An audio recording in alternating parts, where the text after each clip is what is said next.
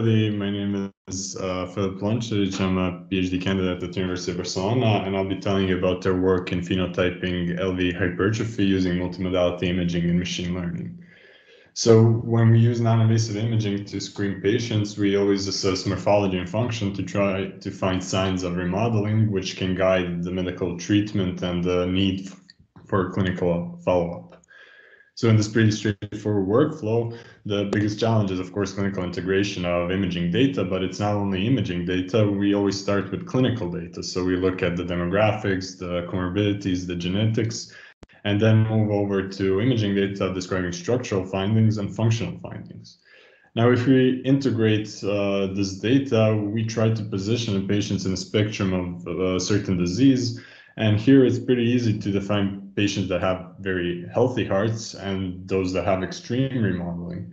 However, the clinical gray zone where patients may have subtle changes or uh, overlapping phenotypes between diseases, this is where the, the, the biggest challenge lies.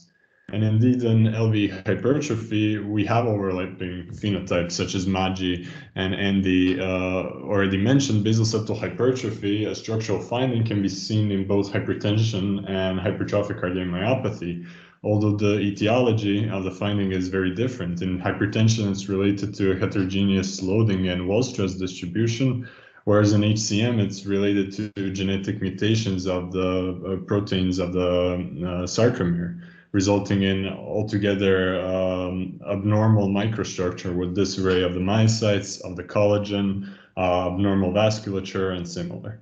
So obviously there's differences. So the question is, why is it clinically relevant to tell it apart? Uh, as we heard from uh, Valeria, HCM is related to, uh, uh, from Francesca, HCM is related to elevated risk of sudden cardiac death, which obviously influences clinical management.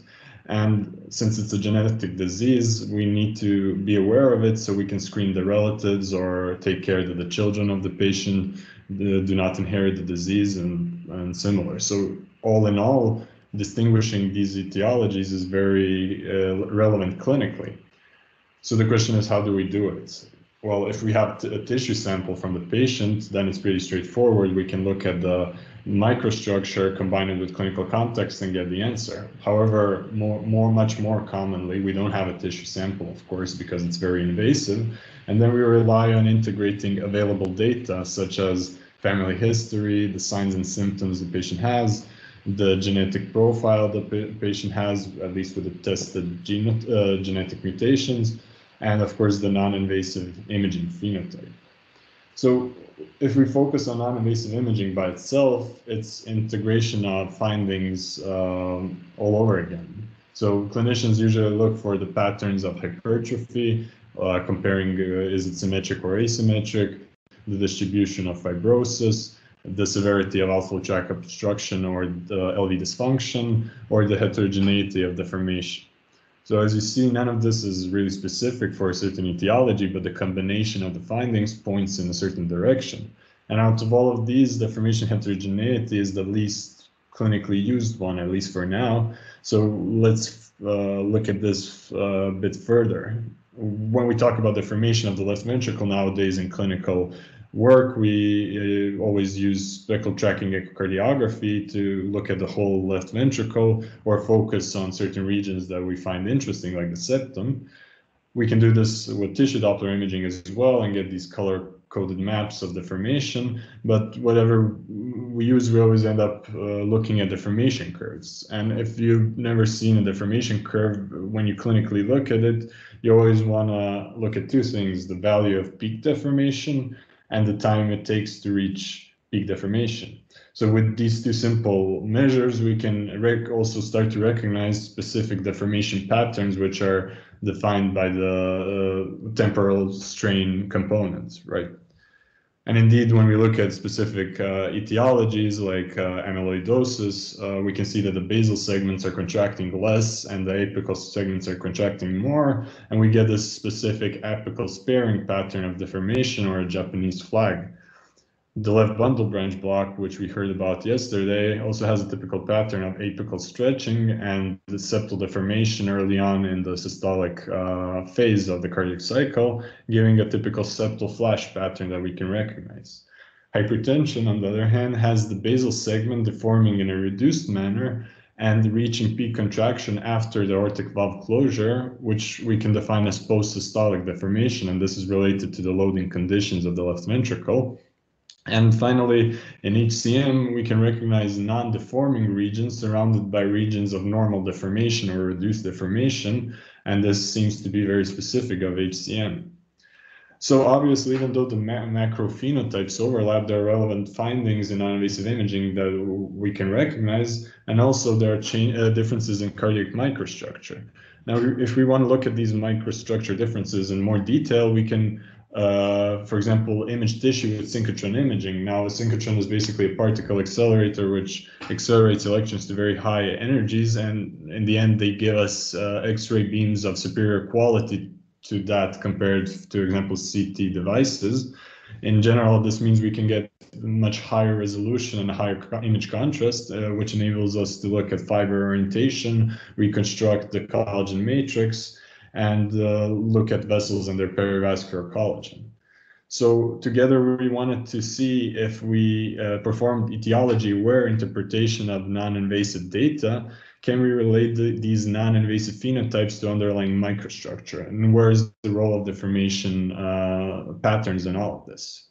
So to do this, we looked at patients with obstructive left ventricular hypertrophy.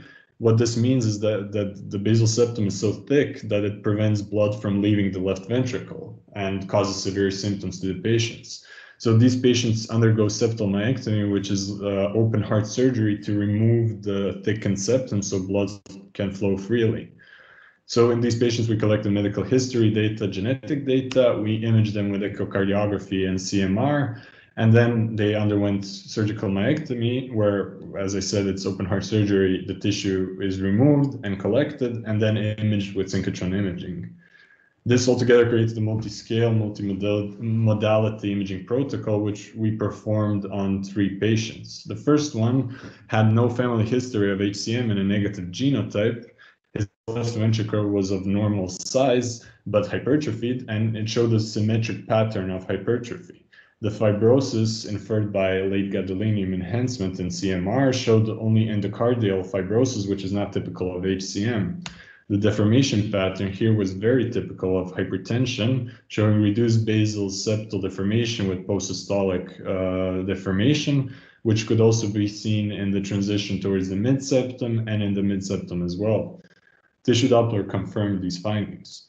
Now, when we looked at the removed tissue, we could see the fibrosis on the endocardial side and indeed image it with high resolution synchrotron imaging showing the collagen structure.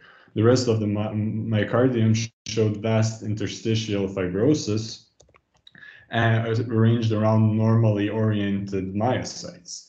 And if we see the scan going throughout the three dimensions of the tissue sample, which is something we can only do with a synchrotron, we can see that the myocytes are indeed perpendicularly cut and oriented in the same direction, but also we can see this vast interstitial fibrosis spreading all around the myocytes. So we used the ilastik and pixel classification workflow to segment uh, this uh, collagen or fibrosis. And we saw indeed that the collagen was increased in this patient, showing completely normal spatial organization. So we could see basically almost layers of collagen surrounding normally arranged myocytes. The, the blood vessels here were of normal size and only mild wall hypertrophy with normal amount of perivascular collagen. So in conclusion, this patient's clinical data, when we integrate everything we have, points obviously to a more hypertensive phenotype since there's no family history, no genotype. The non-invasive imaging data uh, bringing together the pattern of hypertrophy, the pattern of LGE, and the pattern of deformation confirms this diagnosis. And all of this non-invasive phenotype is validated with synchrotron imaging showing normal organization of myocytes and collagen. Now, the second patient, on the other hand, had positive family history of HCM and a positive genotype. His ventricle was of normal size, but here hypertrophy was asymmetrical, located in the septum. The LGE or the fibrosis was located uh, in the same region intramyocardially and at the insertion points of the left ventricle. This was a very typical pattern for HCM. The deformation pattern was also typical for HCM, showing that the basal septum performed uh, normal but reduced deformation. Then the region going towards the mid-septum showed virtually no deformation at all. And then in the mid-septum, we saw uh, improved deformation again. Tissue Doppler confirmed this, showing uh, this region of non-deformation surrounded by normal deformation uh, of the myocardium. When we removed the tissue, we saw a patch of endocardial fibrosis potentially related to the contact with the mitral valve, and the low resolution synchrotron imaging showed regions of normal myocyte organization, but interlaced with regions of myocardial disarray. Now, when we look at the section through the 3D tissue, we see indeed that on this side, the myocytes are again perpendicularly cut, but here in the middle, we see kind of this flow visualization, which is basically longitudinally cut myocytes, which means that this whole tissue has disarray of orientation of myocytes. Again, we can see a lot of fibrosis surrounding these myocytes, but here it is clearly even more increased, but organized in a completely abnormal way. So we can see collagen disarray with only small regions of normal this uh, collagen organization, such as here or here. The vasculature had hypertrophied walls and increased perivascular collagen, which is again typical of HCM. So here in this patient, the clinical data pointed towards HCM, which is very always the cheapest and most important way to uh, look at patients. The non-invasive imaging confirmed these findings with a typical combination of uh, hypertrophy and LG distribution and deformation pattern related to HCM. And synchrotron imaging showed both collagen and myocardial disarray paired with abnormal vasculature.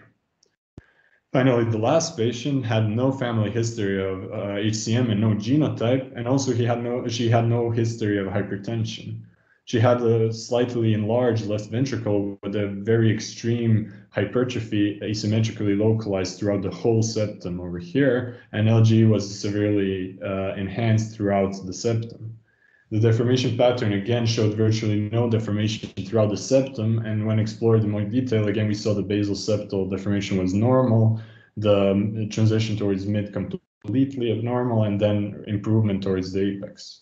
The removed tissue here showed really vast myocardial disarray, and when we screened through the tissue, we could see this very, very dramatic uh, microstructural pattern of longitudinally positioned myocytes and perpendicularly cut myocytes and generally increased vasculature as well. So the collagen was not uh, elevated in this patient, probably due to a younger age, but the spatial organization again showed the disarray of the collagen matrix the vasculature, as I said, the tissue was hypervascularized with uh, mild wall hypertrophy, but increased perivascular collagen. So in this patient, the clinical data didn't tell us too much, but the non-invasive imaging data and the deformation patterns indeed defined this as an HCM phenotype, which was then confirmed with uh, the with the um, synchrotron imaging showing this very very bad disarray uh, situation. Bear in mind, this patient had a negative genotype tested for the most common uh, mutations uh, that are tested in the clinical practice. So indeed, these spatial temporal patterns of deformation provide information on the underlying remodeling, and when combined with other non-invasive imaging findings, it allows more targeted phenotyping.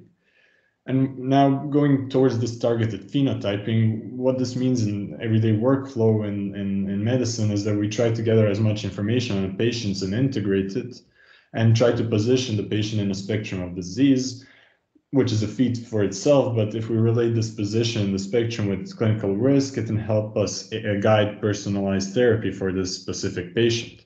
Now, this happens in the clinical world every day in the workflow. However, it's challenged by observer variability. People interpret or measure things a bit differently. There's a limited set of parameters that we use. And also there's this tendency to discretize a complex diagnosis into sick or healthy when in fact it's a spectrum of changes. So obviously uh, we believe that artificial intelligence and machine learning can help us in various steps of this clinical workflow over here. So going back to our patients from the initial slide, the idea is can machine learning help position these patients on the spectrum of uh, the remodeling uh, of the remodeling spectrum? And the first question to ask is what data can we extract from echo images to use as machine learning input? So we have the data and structure, for example, the dimensions of the septum or the ventricle or the inferolateral wall. We can measure the areas of the cardiac chambers and extrapolate uh, volumes or ejection fraction from these measurements. On the other hand, we have descriptors of functions such as blood flow Doppler velocity curves. If we position the region of interest in the in between the atrium and ventricle, we get the mitral inflow, which describes the diastolic function. But if we position it in the outflow of blood from the left ventricle, we get the uh, LVOT outflow pattern, the velocity pattern describing systolic function. If we look at the tissue Doppler, uh, we can position the region of interest in the septal annulus um, and get the deformation, uh, get a velocity pattern describing both systolic and diastolic regional function, and of course the deformation curves from speckle tracking imaging. Now, all of this data obviously bears a lot of information, and we try we would ideally want to extract all of the all of these velocity profiles to use for machine learning input. But in, in standard clinical practice, such complex whole cardiac cycle data is very challenging to grasp for a clinician. There's in every uh, time point of the cardiac cycle, there's a different data point giving an immense amount of data, which can hardly be integrated in everyday workflow. And this is where machine learning can indeed help. It can help by reducing the dimensionality of the data and creating a low dimensional output space where patients are positioned based on the similarity of this whole cardiac cycle data. In such a space, the most important thing is to be able to interpret the patient's position, and we can do this by looking at echo and clinical characteristics of specific regions in our output space. So this is exactly what we wanted to do. We wanted to see if unsupervised machine learning has the potential to explore the LV hypertrophy spectrum. So we looked at hypertensive patients, healthy controls, HCM patients, and individuals with a family history of HCM but no diagnosis or phenotype. So we used the deformation and velocity data from echo as the machine learning input and left the other variables as a way to validate the machine learning derived phenogroups. We used unsupervised multiple kernel learning to create this output space where patients are positioned based on similarity, and then use multi-scale kernel regression to define the average uh, deformation and velocity profiles and clinical characteristics of certain regions in the output space and directly compare them with other regions in the output space. This was a way to explore the space so we can interpret it and understand it better. After that, we use k-means clustering to create uh, phenogroups which were then analyzed uh, between themselves. So our first step was to look at hypertensive patients by themselves. And we created this out, common output space where patients were positioned based on echo function. Um, and we decided to explore the first, second, and third dimension of variability. So we saw that the first, that the third dimension of variability actually encoded uh, clear signs of functional remodeling related to hypertension. We even saw the post-systolic shortening pattern that I described earlier. The clinical data, which was not input of the machine learning, uh, confirmed these findings, altogether um, telling us that the third dimension actually encoded functional impairment in hypertension involving both the left ventricle and left atrium. The second dimension, on the other hand, encoded a different thing, elevated heart rate, mitral inflow fusion, and associated structural and functional remodeling, while, the first dimension determined shift in cardiac dynamics with later onset of atrial contraction and stretching of the left ventricle during isovolumic contraction. Now, with this uh, analysis, uh, we could better understand our output space, and now we could cluster the output space to see the phenogroups derived. The first phenogroup showed the normal cardiac function profile in hypertension. The second phenogroup showed a more transition from normal function towards remodeling. The third phenogroup showed uh, more advanced remodeling in hypertension with both systolic and diastolic impairment, while the last phenogroup showed a specific uh, group of female patients with a high burden of comorbidities and under beta blockage, so uh, undertreated with a certain medication. So these phenogroups, which I really just go through here fast, there's a lot more data to show, are based on functional. Sorry. Yeah, Filip, you have to somehow make an ending. It's already more than 30 minutes, I uh -huh. think that you are. No, sure, sure, sure. Yeah, yeah. Don't don't go through all the groups you have identified. Of course.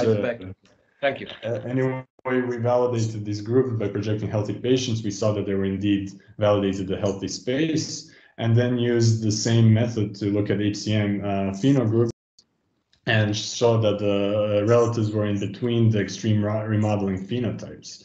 We later projected the healthy and hypertensive patients in a common output space to show the spectrum of cardiac remodeling and then validated these findings showing that uh, these functional phenogroups correlated with CMR-derived uh, late gadolinium enhancement, which meant that our functional phenogroups actually had a structural remodeling as well.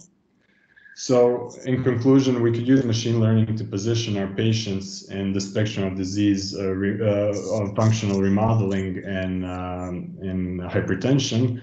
And furthermore, we see this as a way that uh, to include in a, in a, standard clinical workflow where any new patient can be projected in our output space and this information can be used to aid in treatment decision, risk assessment, and uh, frequency of follow-up.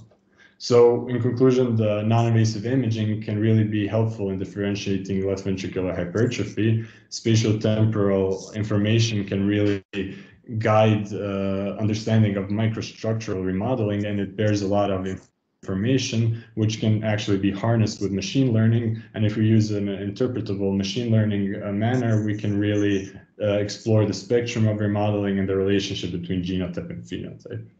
Thanks for your attention. If we have any time for questions, I'll be happy to answer them. Yes, Filip, we do have some time for, for questions. So audience, please go ahead. Hmm.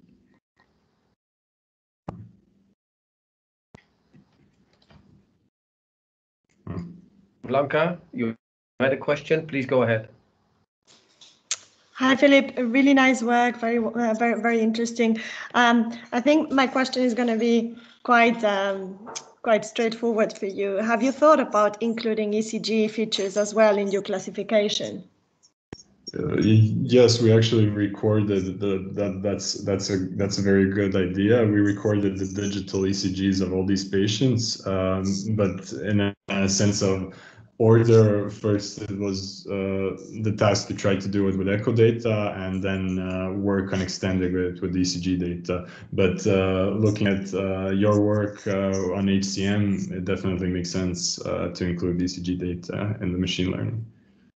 Yeah it'd be really interesting to to see whether there is any association or, or kind of between different groups or, or at least whether the the groups you obtain are similar or not when you use ECG or echo or the, the, the, the, combination of the two. So I think you have a much better database that we use we had with Aurélien's work. And um, it's a great opportunity. I think it's wonderful. Yeah, Thanks. That would be super interesting. Thanks for this. Yeah, thank you. Amanda, please go ahead. Hi, Filip. Great talk. Thanks very much. Hi. Wanted to ask about your longitudinal strain. So you said that you use longitudinal strain to build in your model and also on the clinical basis to try to differentiate between patients. Is that just four chamber longitudinal strain or all the others? And would there be any value in adding the other, um, the two chamber and the three chamber one?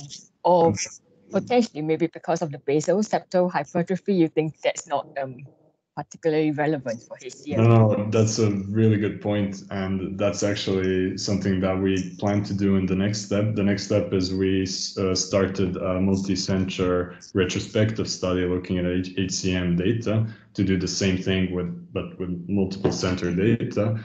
Uh, and what we decided to do is actually uh, include the two chamber and three chamber apical views as well, because in a disease such as uh, HCM, it's very heterogeneous and the thickening or dysfunction can actually be in different places in the left ventricle.